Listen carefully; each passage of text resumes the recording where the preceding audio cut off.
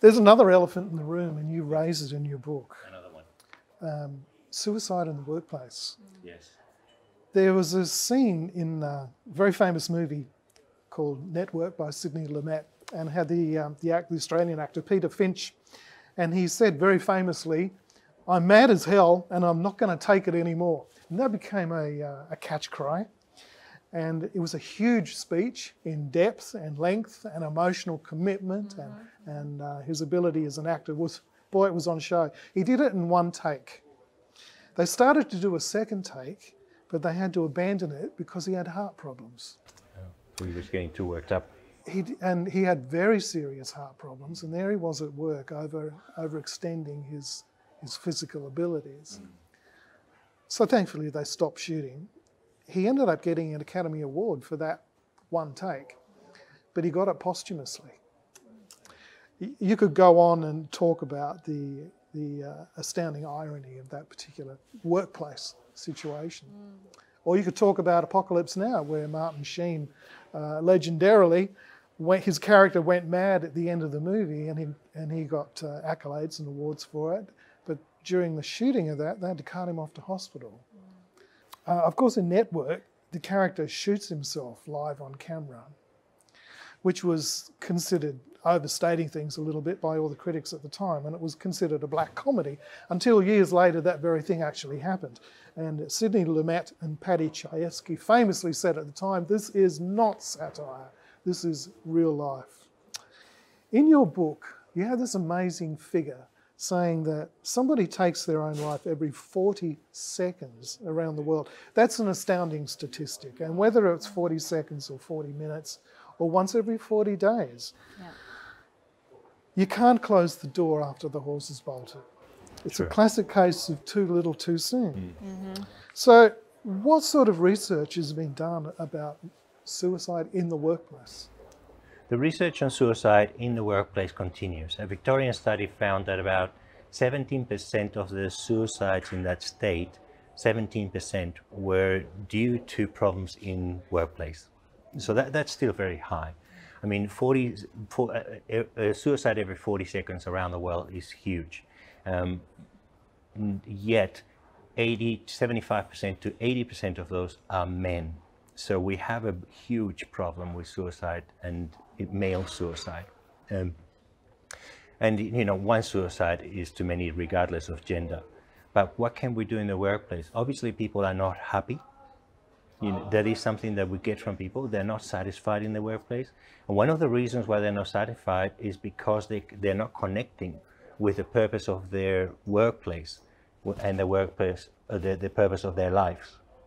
And a person without purpose, it's like a ship without a rudder. It's, it's aimless. It's not going anywhere. And to be aimless for a human being is not a good thing. Workplace is actually good for your mental health. You know, that's the irony. It, when, we, when we put a person with a mental health issue in a, in a work, in, in, in work that is, is significant and it contributes back to the community, we see a better recovery overall. So it's good for your mental health.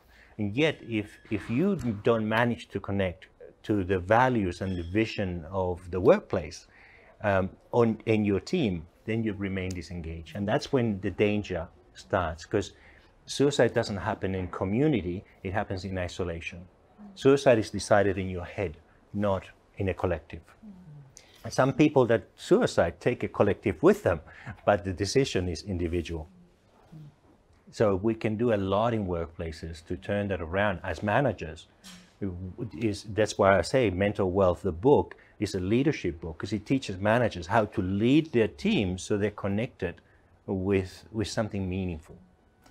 One of the things that, that I see in, in talking with so many organizations is that uh, sometimes there can be the attitude like if people have personal problems, they should leave that at home.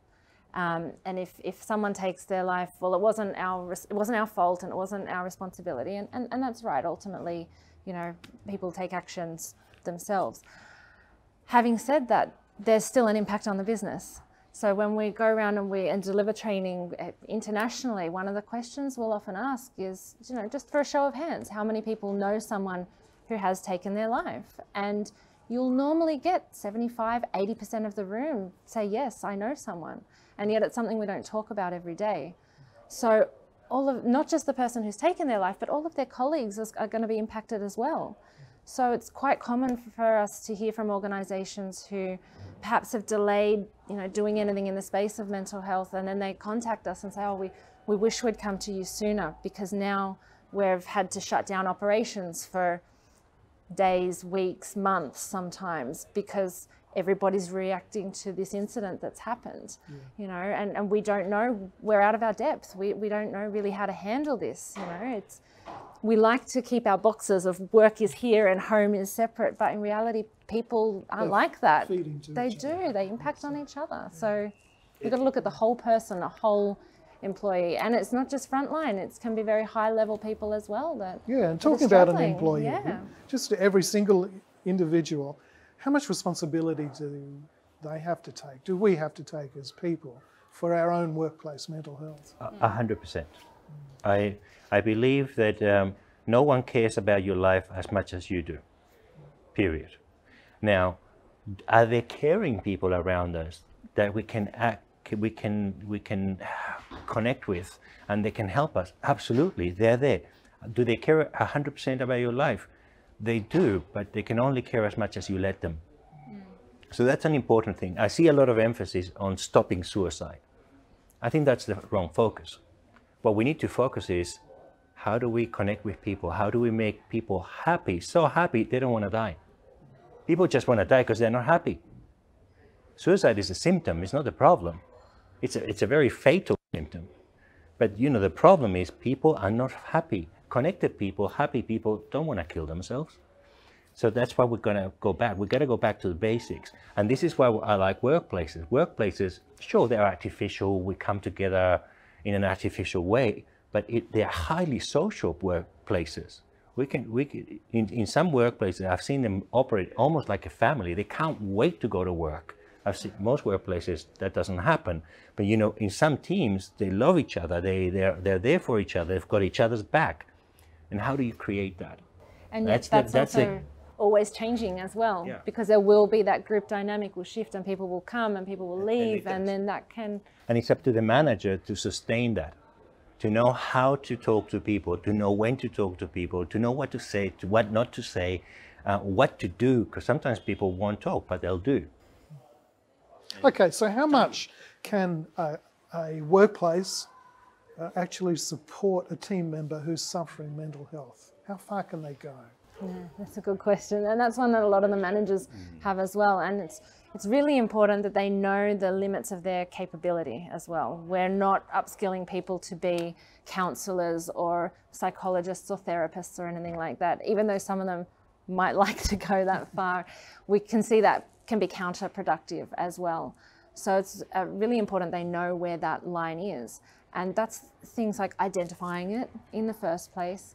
As a human being, one person to another, having a conversation and showing care, showing compassion, as you spoke about earlier, uh, showing empathy, uh, sharing information about, you know, what are some of the options because it's not just a one size fits all solution when it comes to mental health. You know, everyone's situation is so completely different. You know, what works for one person may not work for someone else. So managers need to be really careful that they're not giving advice um, or, you know, what worked for me, um, but that they're opening up a conversation and, and allowing the person to go and get the support they need from wherever they need it. That they're and they're they're on the side as a, a go-to person if if there's anything here in the workplace that that may I may be able to assist with can't promise the world, I can't do everything, but I'm here and we'll talk about it and let's keep that line of communication open. And it's amazing what people are able to do when we feel supported. Mm. You know, just to know someone's got our back. That sometimes that's all that is needed, you know, for that little bit extra energy. And that's that's what we're talking about sometimes, you know, that, that energy to climb out of a hole. And sometimes guess what? Once they find out that somebody has got their back, they find out there was no hole to begin with. They just had this idea in their head. Uh, that's why we find with conflict. When people get to talk to each other, they realize, oh, oh, so you didn't mean that. Oh, right. Okay. So I've wasted two days of my life making this huge problem in my head that has disappeared by a two minute conversation. So we teach people how to have that conversation in, in the book as well.